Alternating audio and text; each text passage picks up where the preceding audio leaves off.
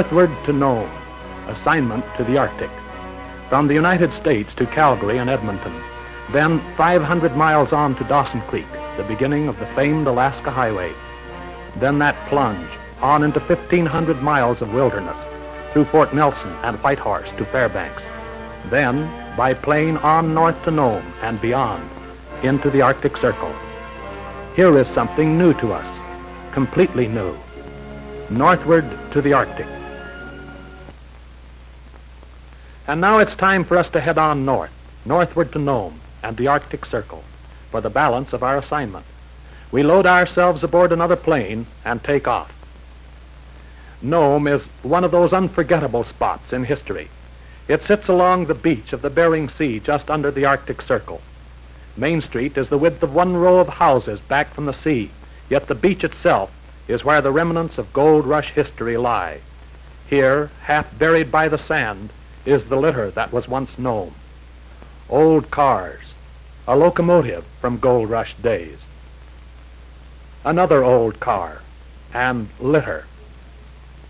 On the other side of Main Street is the public school and more permanent buildings. Along the street itself are places of business, the Board of Trade, the Nome Nugget, the Glue Pot, and the usual group of storefront squatters, even in this far north part of the world. Eskimos with summer parkas are everywhere, and Eskimo children with ice cream cones. Even bubble gum has found its way up here, so children must be the same in Brooklyn, Kokomo, or Nome. You might not see this in Brooklyn or Kokomo, but this young lady has certainly found the answer to babysitting. She takes the youngster right along with her. And out along the beach from downtown Nome, we find another part of our far north assignment. Here, the Eskimos who live on King Island, out in the Bering Sea, come every summer to this beach in their huge skin boats, bringing their dogs, women, children, and ivory with them. During the summer months, they stay here, live under their boats and in temporary shelters, carve their ivory, trade it for money or things they need, then get back in their boats before the first storms of winter set in, and head once again for their island home. They are expert craftsmen, these Eskimos, and the work they do is lovely indeed. You see them here now with their tools, cutting, sawing, drawing figures of the animals they know so well, then carving them into the fine ivory, which is the basic item of trade, barter, and livelihood among the King Island Eskimos. The ivory comes from the tusks of walrus, which the Eskimos hunt and capture during the winter months.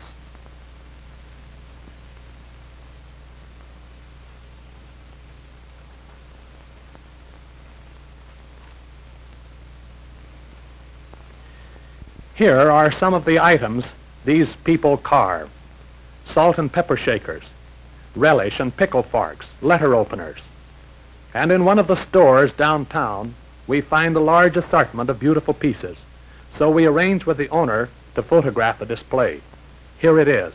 Necklaces, bracelets, desk pieces, cribbage sets, decorative pieces, all of them carved by hand by the craftsmen from King Island in the Bering Sea.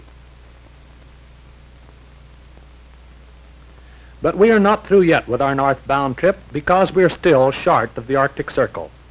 We take to the air again and head out over ice-covered sea toward Kotzebue. As we see it first, it looks like a few squat shacks hovering between sea and water-filled tundra.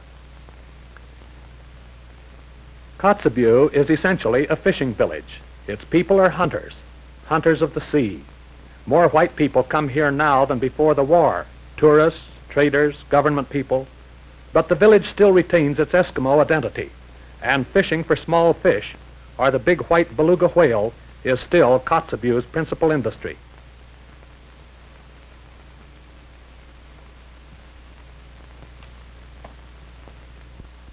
Hedging in Kotzebue's back doors is the tundra, a treeless, permanently frozen waste.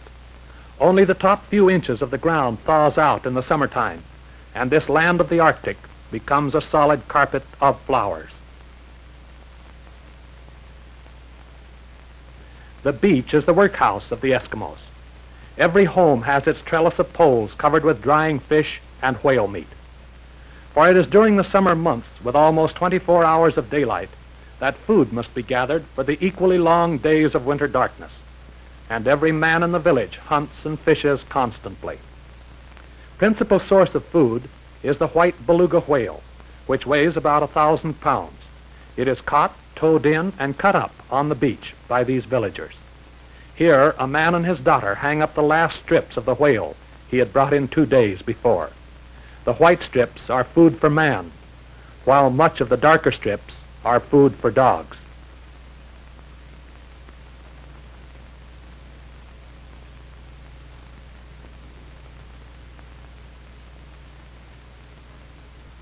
When the white strips are dried, the next job is performed by the woman of the house. She must boil the fats from the meat, skim them off, and store them away for winter use.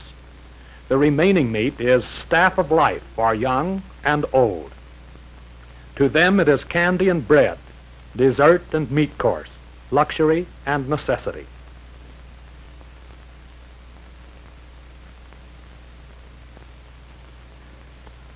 The woman's sister is here to help too, but with twin boys and a multitude of dogs, she is pretty well occupied. But now we must go out with these men to fish for the white whale. Often they are gone three or four days without a catch. Perhaps today they will be more lucky. They sit together for a while, then finally get up and ready their high-powered rifles. Whales should show most any time now. Suddenly there is a call and the rifles go to the men's shoulders. Then action begins. Yes, this is a lucky day, unusually lucky. The whales are showing. And the sea is a churning whirlpool as a volley of lead is poured at the big fish. Now they have cornered one in shallow water, and a harpoon is thrown into it so it won't get away. The fight is soon over, and the hunt goes on. Another whale shows, but disappears, and the sea is scanned for his next appearance. Soon it shows again, and the bullets fly. Then two more come to the surface. This is good, say the men. Perhaps now there will be sufficient winter food for hungry mouths in Kotzebue. For six hours we chase whales, and when four are securely bagged, the men call it a day, a very rare day for them.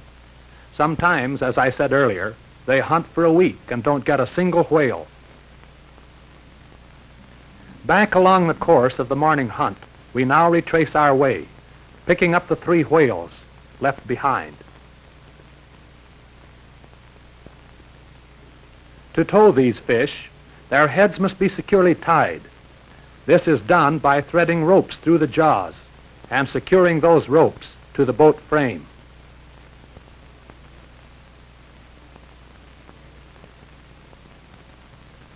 The men work easily. They know exactly how each step of the process should be done.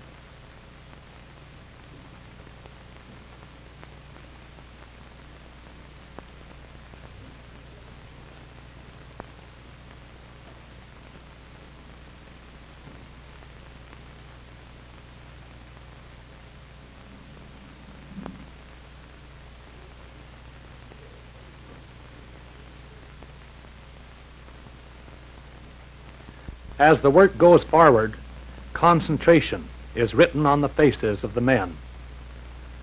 But when the last rope from the last whale is solidly knotted aboard, those faces relax. It has been a fine day. So we come back in off the sea with our flag flying. The villagers will greet the boat gladly because four belugas in one day is a fine catch. We help them pull the big fish out onto the gravel. Tomorrow, it will be cut into more thick strips for drying.